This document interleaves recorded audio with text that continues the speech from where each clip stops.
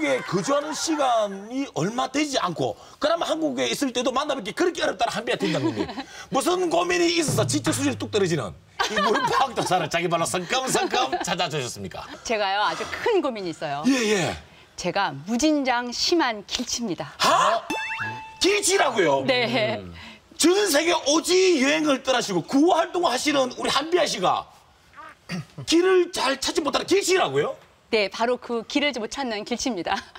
아니 그, 그 짧은 시간에 굉장히 몇 개국을 돌아다니셨죠? 예. 7년간. 예, 예. 7년간 한 70여 개국? 7년간 70여 개국을 돌아다니는 그렇게 길게 걸렸던 이유는 길치라서 이제 길을 찾기 어려워서 아니, 맞습니다. 정말 저는 길을 나가면 무조건 헤매요.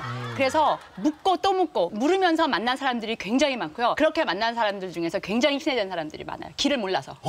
시- 일상생활에서도 그 매일 길을 잃어요. 조금만 가도 길을 잃었는데 다른 사람 사무실을 방문하고 나오면 네. 무조건 출구로 못 나옵니다. 그냥 비상구로 가거나 아니면 화장실로 가거나.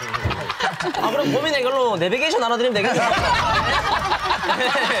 고민 해결권 네. 그러면서 길을 잃어가지고 오지에서 볼 때면 기억에 남는 고생건이라든지 에피소드가 있습니까? 그 무진장 많죠. 예. 일단은 뭐 오지에 가면은 약도를 그려달라 그러잖아요. 그러면 뭐 우리처럼 뭐 몇 번지 몇 번가 이런 거 없잖아요. 그냥 큰 나무, 큰 나무 네.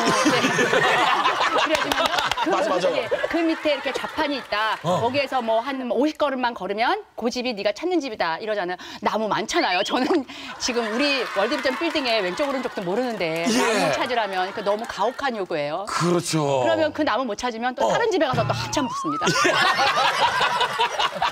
뭐 성격도 한번 하겠네요. 그죠? 건전한 성격이니까. 뭐 그러면서 자충우도 해프닝조차도 이것도 촉의 한 페이지다. 어, 그럼요. 그렇게 해서 만나는 친구들은 정말로 제가 막 길을 잃고 있잖아요.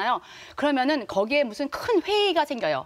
아, 이 사람이 그 나라 말도 못하는데 어. 길을 잃고 막 배낭을 40kg짜리를 쥐고 왔다 갔다 하잖아요.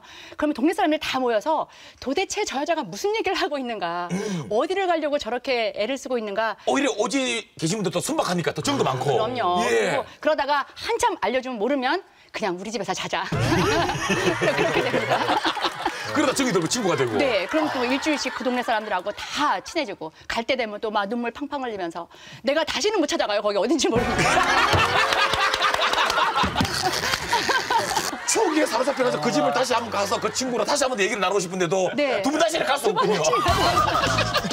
오늘의 의뢰 바람의 딸 한비야 그녀의 고민은 심한 길치라 걱정이에요 아니 말도 안돼 길치가 무슨 세계 여행을 그렇게 잘 다녀 뭐난 길치 다니니까 저기 우리 저 박 PD님 나 저 내일부터 세계 여행 한번 이렇게 가서 책 꺼내고 좀 그래도 될래나?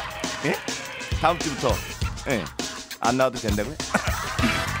아무튼 좋다 무릎팍도사 지금부터 한비야를 샅샅이 파헤쳐보자 팍팍 열심히 하겠습니다